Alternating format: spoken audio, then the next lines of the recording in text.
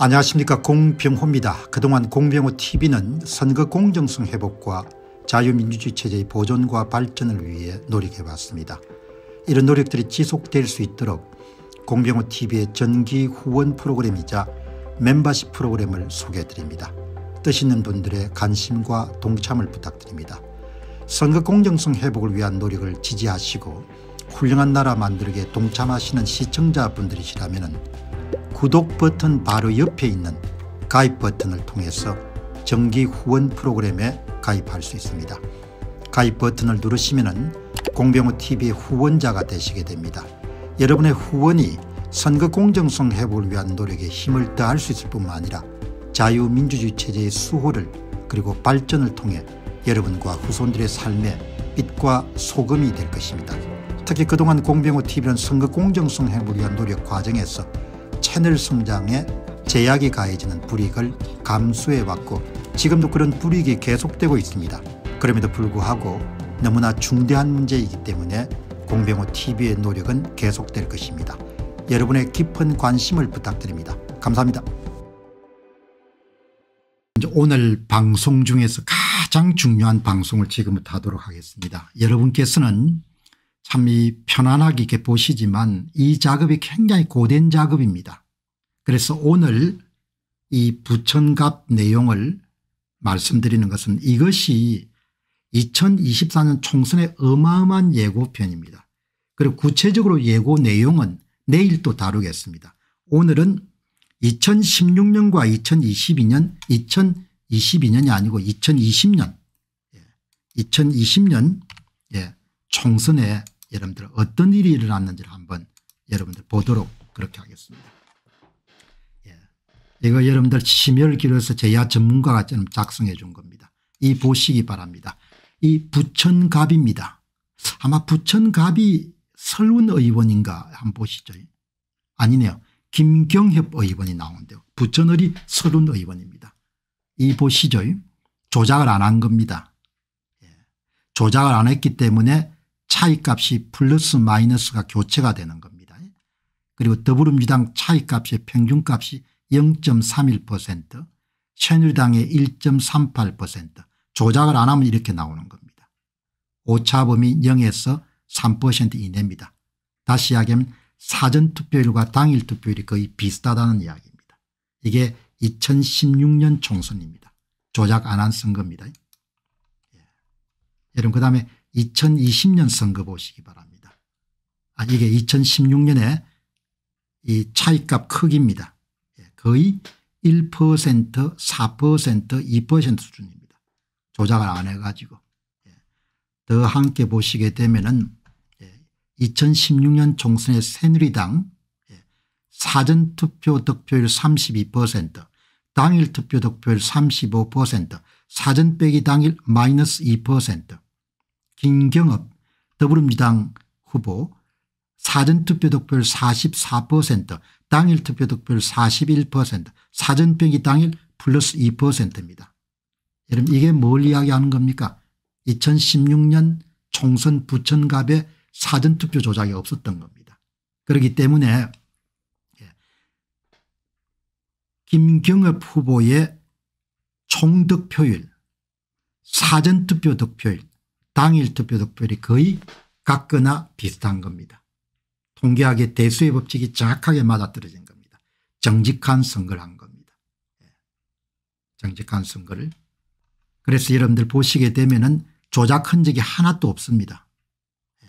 선관위가 발표한 자료가 정직한 선거 데이터입니다. 예.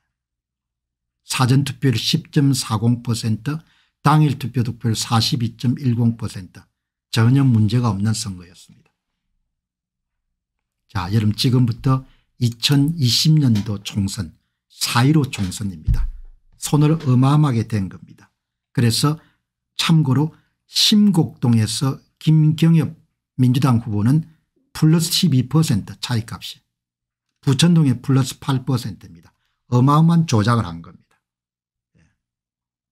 그것을 여러분들 수치로 보게 되면 은 김경엽 민주당 후보는 사전투표 득표율 65% 당일 투표 득표율 55% 사전 빼기 당일 플러스 9%입니다. 큰 값이 나온 겁니다. 사전 투표와 당일 투표율이 완전히 다른 겁니다. 사전 투표를 조작을 한 겁니다. 김경업 후보한테 표를 쑤셔 넣어준 겁니다. 이 엄재 후보 사전 빼기 당일 마이너스 10%입니다. 어마어마하게 조작을 한 겁니다. 가장 정직한 선거가 당일 투표 득표율입니다. 당일 투표 득표율과 그다음에 총투표 득표율이 거의 비슷합니다. 자 그러니까 여러분들 이거를 보시게 되면 은 2020년도 4.15 총선의 부천값이 완전히 손을 댄 겁니다. 전국의 뭐 거의 대부분을 손을 댄 거죠. 그러면 이제 이걸 가지고 여러분들 이 자료를 가지고 아 2020년도 4.15 총선에 사전투표 조작이 있었다는 것을 판정할 수 있는 겁니다. 부천갑에 사전투표 조작이 있었다. 이걸 확정을 할 수 있는 겁니다. 그러면 다음 우리가 질문은 뭔가 하니까 어떻게 조작했는가를 보는 겁니다. 여기는 제야 전문가가 어마어마한 기여를 한 겁니다. 우리가 이런 편안하게 보지만 대한민국 공직선거에 여러분들 부정선거 실태가 밝혀지는데 제야 전문가가 혁혁한 공을 한 겁니다. 그러니까 여러분들이 이게 편안하게 보시면서도 참 고맙다는 생각을 가지셔야 되는 겁니다. 여러분 이거가 이 선거관리위원회가 중앙선거관리위원회가 홈페이지에 올려놓은 4.15 총선 후보별 득표수 자료를 다 다운로드를 받아 분석해 보게 되면 여러분 분석 결과 딱 이렇게 나옵니다. 여러분 이 사람들이 어떻게 조작했는가 하니까 예. 사전투표소를 방문한 세 사람당 진짜 투표지 세 사람당 더불당 후보가 기표된 표를 한 장씩 집어넣어 준 겁니다. 세 장마다 한 장을 집어넣어 줬고 부천갑에서 6153표를 가짜 투표지를 투입한 겁니다. 전산 조작을 통해서 그다음에 전산 조작을 통해서 이름들 투입한 것은 확정적 사실이고 위조 투표지를 몇 표를 투입했는지는 알 수가 없습니다. 거의 비슷하게 맞추었겠죠. 그건 내가 눈으로 본 거 없습니다. 중앙선관위 자료는 눈으로 본 겁니다. 예. 어떻게 조작했는가 사전투표장에서 진짜 진짜 진짜 가짜표를 집어넣어 준 겁니다.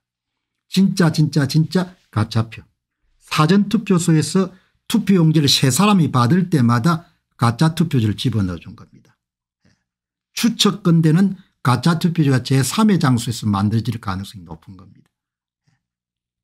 여러분 이 보시기 바랍니다. 이걸 보시게 되면은 일단 총계를 이야기하겠습니다. 중앙선거관리위원회가 사전투표에서 사전투표에서 여러분들 부천갑에서 예, 사전투표자 수가 2만 4,612표라고 이런 발표를 한 겁니다. 근데 실제로 조작값을 찾아내 가지고 조작되지 않는 상태를 구해 보니까 18,459표밖에 안 되는 겁니다. 이게 진짜인 겁니다. 그럼 얼마를 선거관리위원회가 쑤셔 넣어줬는가 하니까 6,153표를 쑤셔 넣어준 겁니다. 6,153표가 24,612표의 4분의 1입니다. 4분의 1이 가짜 4분의 3이 진짜 그리고 여러분들 두 개를 가짜고 진짜를 합치게 되면 4분의 4가 되는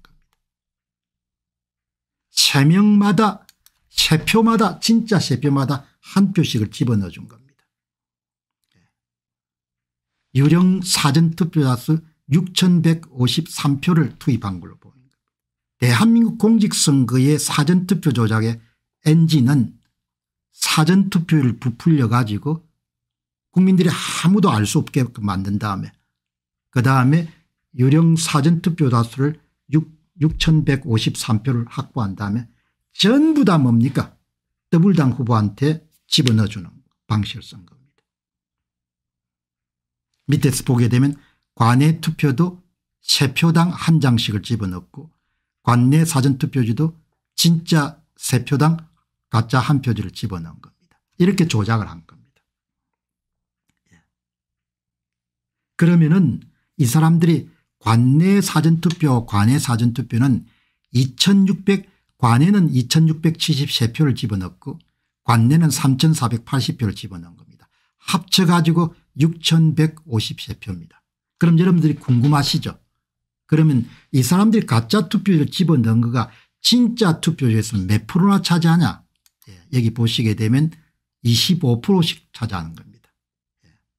진짜 투표지 관내 8019표 가운데 2673표가 4분의 1입니다. 4분의 1. 그리고 1440표 가운데 3480표가 4분의 1인 겁니다. 4분의 1. 25%인 겁니다. 이렇게 여러분들 표를 6153표를 집어넣은 겁니다. 이게 여러분들 중앙선거관리위원회가 발표한 선거 데이터에서 그대로 나오는 규칙인 겁니다. 쉽게 이야기하게 되면 전산 프로그램을 가지고 표를 만들어냈기 때문에 만들어진 표를 가지고 역으로 전산 프로그램을 찾아낼 수가 있는 겁니다. 전산 프로그램을 찾아내 보니까 예, 세 표당 한 표를 집어넣은 겁니다. 4분의 3은 진짜 4분의 1은 가짜 4분의 3은 진짜 4분의 1은 가짜 이렇게 여러분들 규칙을 만들어서 표를 조작을 한 겁니다. 그럼 여러분 이거를 한번 보시게 되면 그럼 이 사람들이 사전투표를 몇, 몇 퍼센트를 뻥튀기 해가 여러분들 표를 만들어냈느냐 여기 나오네요. 예. 사전투표를 선거인수 기준으로 4.46% 부풀렸고 유령 사전투표자 수를 6153표를 투입한 겁니다. 예. 그러니까 이게 4.45표입니다. 4.15 총선 부천갑에 사전투표소를 찾은 사람은 선거인수 기준으로 선거인수 기준으로 13.53%입니다. 근데 얼마를 뻥튀기 했는가 하니까 17.98%를 뻥튀기를 한 겁니다. 예, 여기에 4.45%를 올린 겁니다. 4.45%를 부풀리고 6153표를 투입한 겁니다. 그러면 강서구청장 보궐선거 2023년 10월 11일 강서구청장 보궐선거는 어떻게 했냐 사전투표를 플러스 7.5% 유령 사전투표 수를 3만 7771표를 집어넣은 겁니다. 그러니까 강서구청장 보궐선거가 어마어마하게 조작을 심하게 한 겁니다. 예. 그러니까 강서구청장 보궐선거 이전에 역대 여러분들 사상 최고치는 2020년 총선이었습니다. 이렇게 이름 다 밝혀지게 된 겁니다. 그러니까 언제 조작했는지 사전투표일 양일간 어떻게 조작했는지 전산 프로그램을 사용해 가지고 세 장당 한 장을 집어넣은 거죠. 얼마나 표를 훔쳤는지 다 밝혀진 겁니다. 어떤 놈이 했는지만 못 찾아낸 겁니다. 근데 어떤 놈이 했는지는 별로 중요하지 않습니다. 조작한 규칙을 다 찾아냈기 때문에. 예.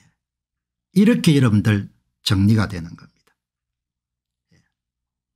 그러니까 오늘 여러분들이 보고 드린 이 내용은 제야 전문가 이런 시간을 많이 투입해 가지고 예. 여러분들 작업을 해 가지고 여러분께 이렇게 보고를 드린 겁니다.